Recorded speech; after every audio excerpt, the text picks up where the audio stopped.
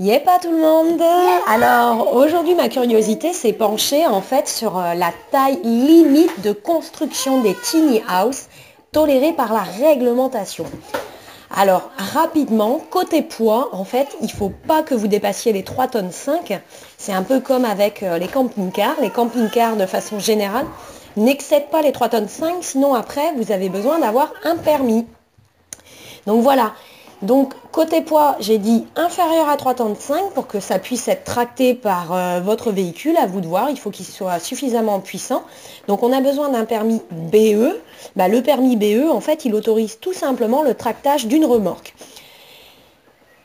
À côté de ça, en fait, la maison, euh, ben, il faut faire attention en fait au pont pour ne pas nécessiter de passer en convoi exceptionnel.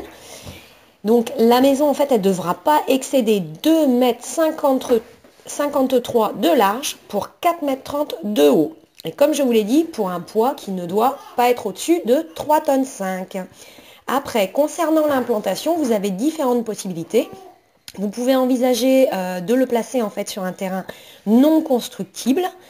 Euh, voilà, euh, voilà.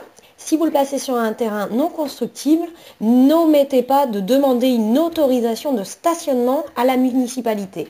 Alors ça peut être une autorisation de stationnement ou autre.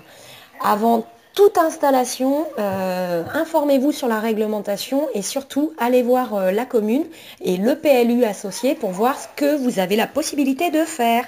Voilà, je vous dis à bientôt et j'espère que euh, bah, ces dimensions, elles vont vous renseigner, renseigner votre curiosité, notamment réglementaire. Yépa pas tout le monde! La fin! À bientôt